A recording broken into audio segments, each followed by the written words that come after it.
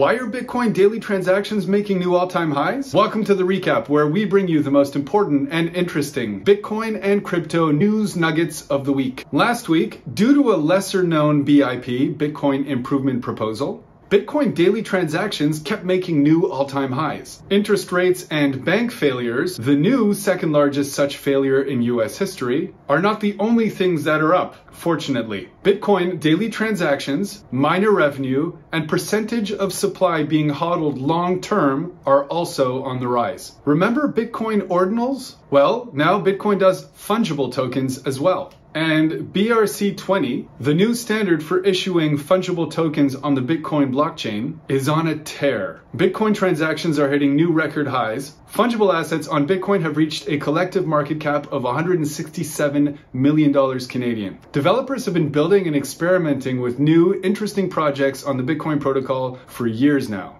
And the market is saying yes. Please, sir, can I have Meanwhile, the White House produced a new budget proposal called DAME. If accepted, the digital asset mining energy excise tax which is exactly what it sounds like, would impose a 30% tax on all energy used to mine Bitcoin over the next few years. What's next? A video game or reality TV energy tax? Finally, we recently shared with you that the Kingdom of Bhutan had been quietly stacking sats as well as other digital assets over the last few years. Apparently, they've also been using surplus hydroelectric power to mine the stuff too. British Columbia, Manitoba, New Brunswick, and Quebec should take note. BTC was down 2.75% last week, and Ethereum was up 0.02%. Check out ndax.io forward slash blog for all the links to the news items covered above. Start your free account at ndax.io today.